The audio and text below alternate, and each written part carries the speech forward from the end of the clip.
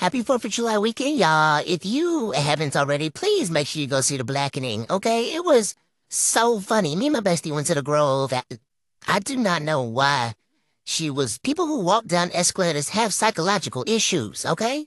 But, you know, we was running a little bit behind. Um, we was a little behind. But we got there just in time for the movie to start.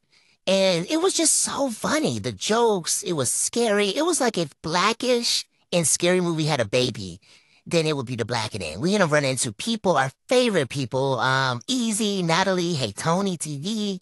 Um, the night was honestly given 10 out of 10 at this point. Uh, then we went to eat and catch a little bite at the Grove. It was very cute, very LA-esque of us.